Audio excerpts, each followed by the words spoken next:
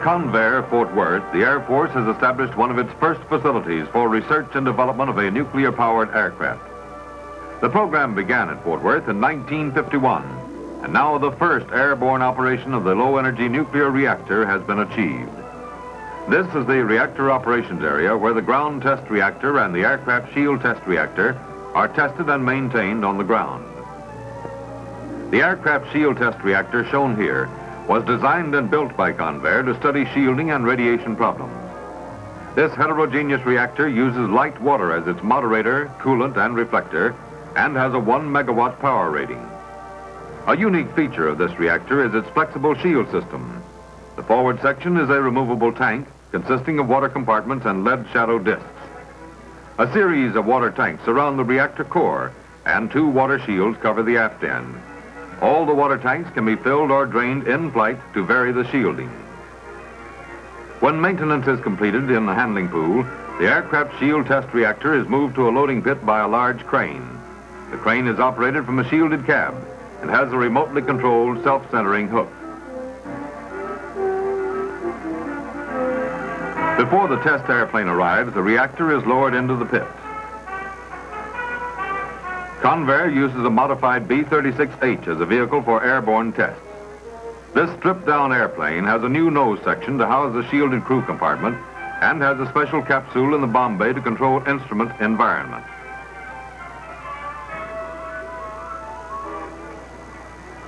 A cooling system located in the aft fuselage dissipates reactor heat.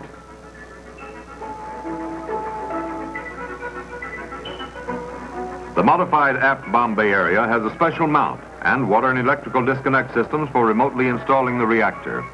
A lead shadow shield, five inches thick and weighing five tons, is mounted in the forward end of the reactor bay to give added shielding for the flight crew. For reactor loading, the test airplane is towed to the operations area.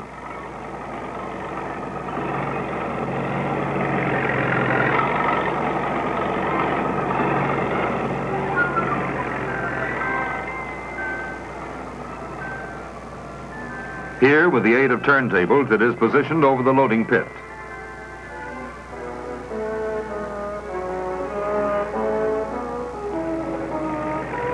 The loading operation, which takes approximately 20 minutes, is handled remotely from a shielded control room beside the pit. As the 7-inch thick pit covers open, the reactor loading operation begins.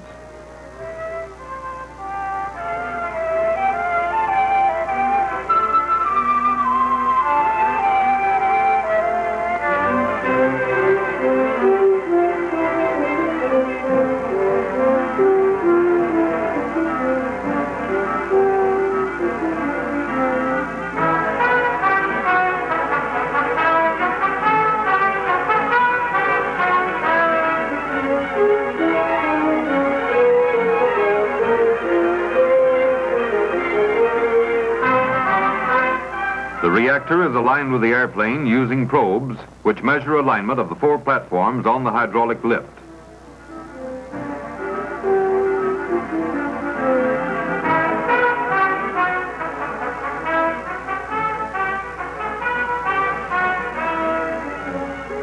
These platforms control fore and aft, side to side, and pitch and yaw motion.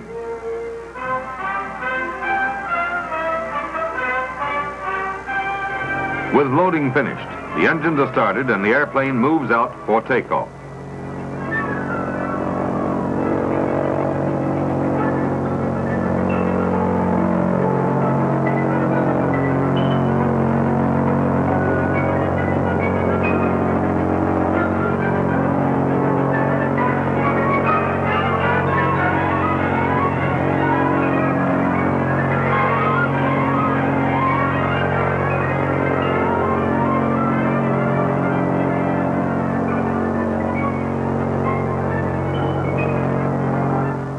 Normal Zeta flights, the nuclear test aircraft takes off at a gross weight of 357,000 pounds.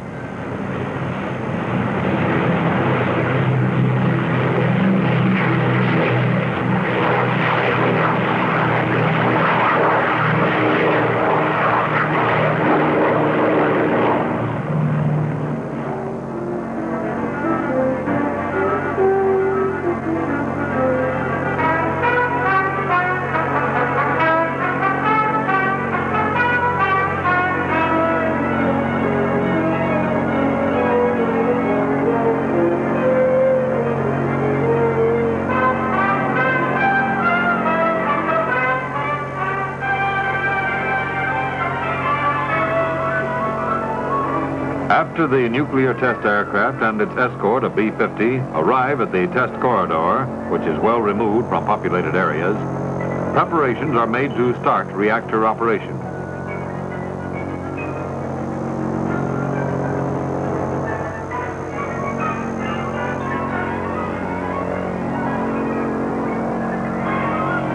The reactor is started by withdrawal of the safety rod, the dynamic control rod, and the shim safety rod. Various conditions of hot flight operation are monitored and adjusted by the nuclear engineer.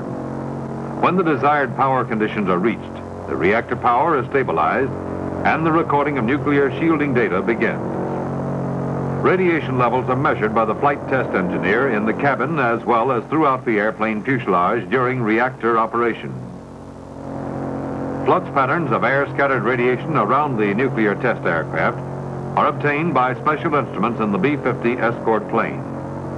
Upon completion of the data runs, the reactor is shut down in preparation for the return flight.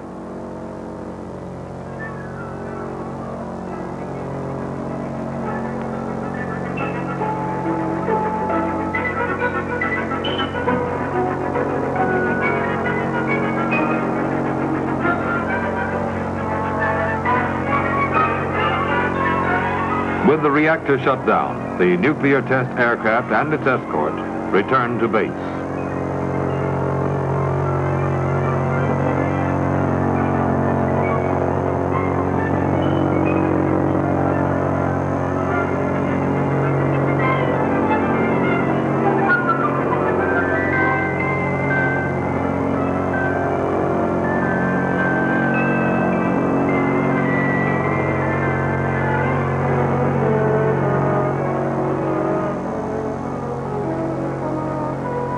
These first airborne reactor tests at Convair, Fort Worth, are supplying valuable information.